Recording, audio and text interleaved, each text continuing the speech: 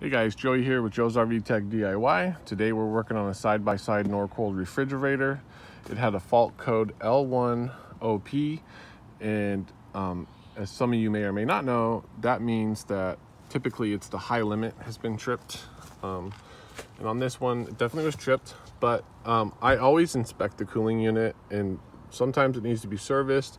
We check for blockages uh, in the ventilation and other things before we do anything as far as addressing the high limit being tripped.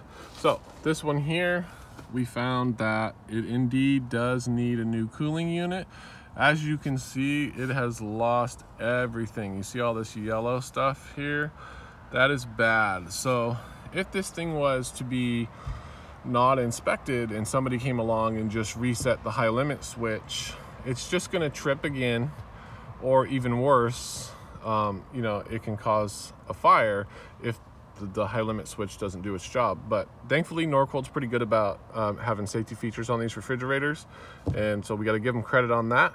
This refrigerator uh, is a 2002, I believe. Um, I want to say it's a 2002 because the, the fifth wheel is a 2002. So it had a nice long life before this happened. And, um, you know, so no disrespect to Norcold here.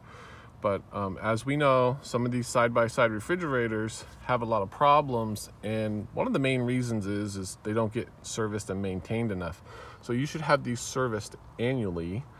And you never want to park it by a tree like this because it blocks half of the ventilation and then that's not going to be good for it and all these needles and everything will go and end up inside uh, the refrigerator compartment and make it very messy.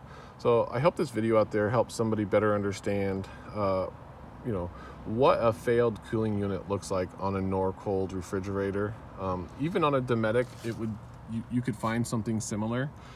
And sometimes it can be up higher and you know the clear indication is we, we're looking for these signs of all this yellow. So it has completely ejected everything. But until next time guys this thing's going to get a new cooling unit. Maybe we'll make a video of replacing the cooling unit on it.